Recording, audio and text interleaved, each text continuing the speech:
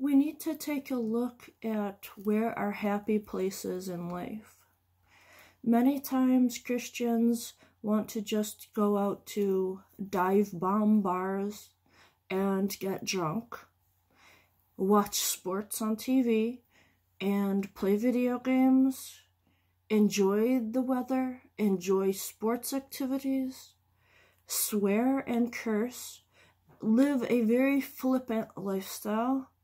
This flippant attitude will not get you to understand Jesus Christ. All those activities, they will take you away from Christ.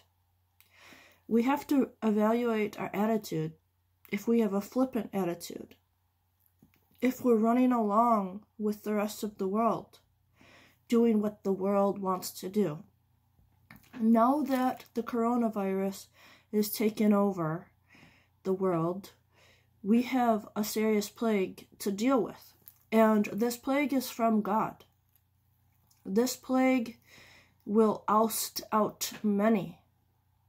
Unfortunately, many will die with unrepentant heart. Many will die without being baptized in water for the remission of sins. But I want to ask you who is still here who is trying to get to know the Lord. Where is your happy place?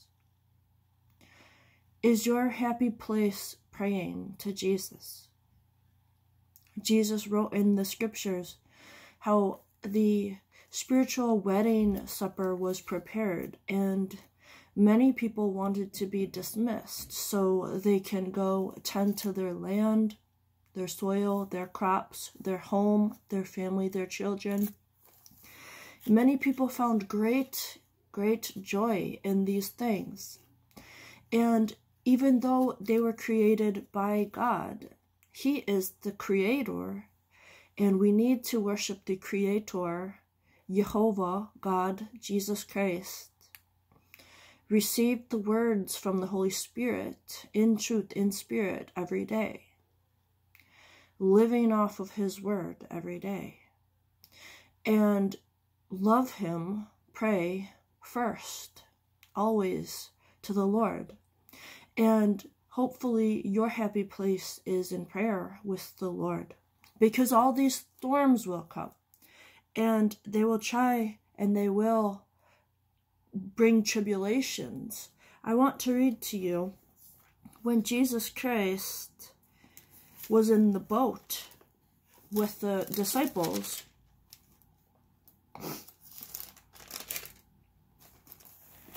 First, the true family of God. If your happy place is in prayer with the Lord, then more likely than not, you are in the true family of Jesus. Luke 8. Then Jesus' mother and brother came to see him, but they couldn't get to him because of the crowd. Someone told Jesus, Your mother and your brothers are outside, and they want to see you.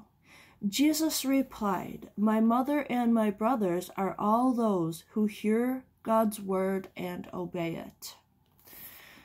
In the scriptures, there are many places where Jesus finds people and heals them.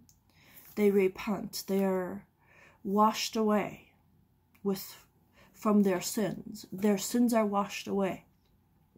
Jesus Christ can wash away your history, your past and you can get to know him. You could have real living water, real relationship with Jesus. And so Jesus calmed the storm. 22.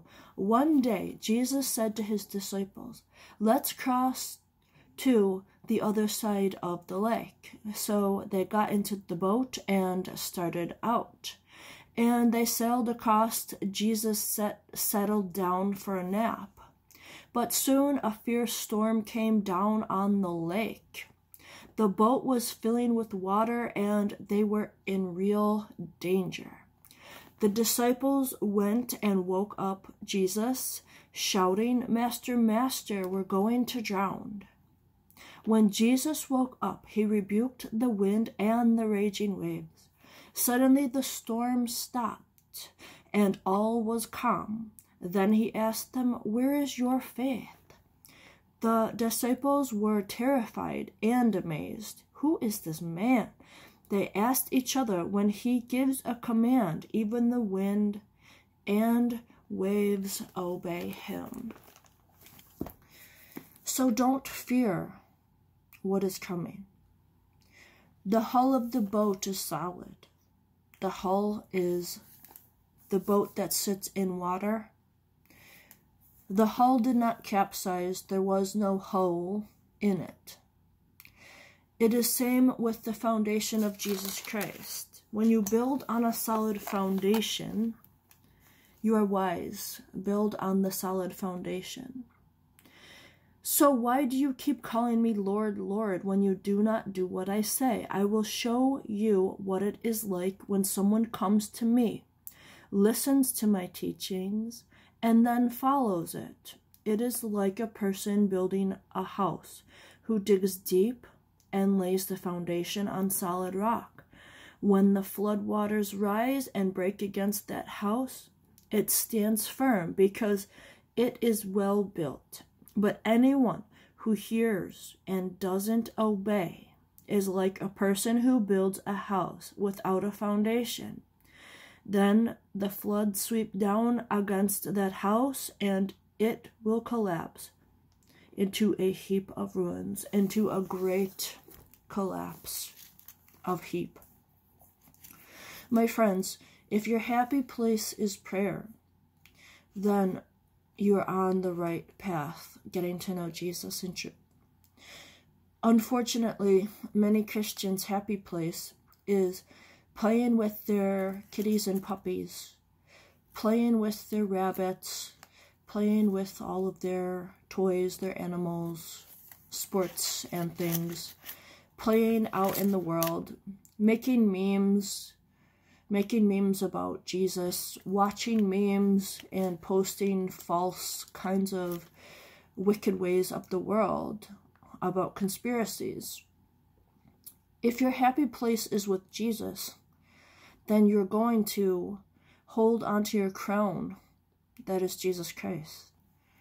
Evaluate your life today, my friends. Are you willing to face the evil farmers in this life.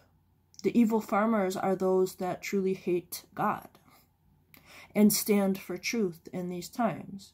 Stand for truth. Stand on Jesus Christ, the rock. The rock is Jesus Christ. The builders that have refused the rock, those evil farmers, and all those people that love this life, that are not going to the wedding supper of the Lord Jesus Christ. They're not going to be having on the wedding garments of the Lord. Evaluate your life. What is your happy place today, my friends? Get to know Jesus Christ. Bow down.